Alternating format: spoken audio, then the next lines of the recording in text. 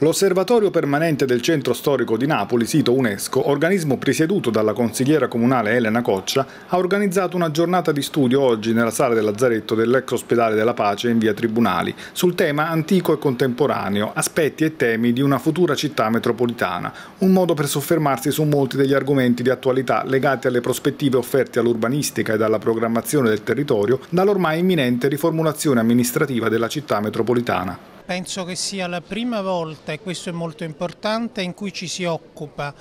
di centro storico all'interno della città metropolitana. Se si è discusso troppo poco di città metropolitana, di centro storico che è un nodo delicato, importante, che richiede una visione decisa, non si è quasi eh, discusso. Per questo è importantissima questa iniziativa. Il centro storico non è fatto solo di chiese, di palazzi e di monumenti, ma è fatto soprattutto di persone. Ed è per questo che oggi abbiamo accanto alla parte monumentale abbiamo inserito anche il discorso sulla scuola e sulla sanità. Riteniamo che il centro storico di Napoli sia una delle opportunità eh, maggiori eh, della nostra città, deve essere un, un qualcosa che si irraggia, eh, che si irraggia anche nella città metropolitana futura, eh, che non diventi, che non sia la periferia della città di Napoli, ma sia la città di Napoli. Sono stati affrontati anche i temi della democrazia partecipata, con i nuovi modelli di governance e il ruolo delle associazioni di territorio nel rapporto con le istituzioni, con il loro intervento nel ruolo propositivo all'interno del processo decisionale. Forse la cosa più bella di questa città, con tutti i problemi che ha, è che è rimasta umana, complessivamente è rimasta umana, cioè nel senso che i luoghi di questa città sono intrisi di umanità. Allora noi dobbiamo fare in modo che il centro storico,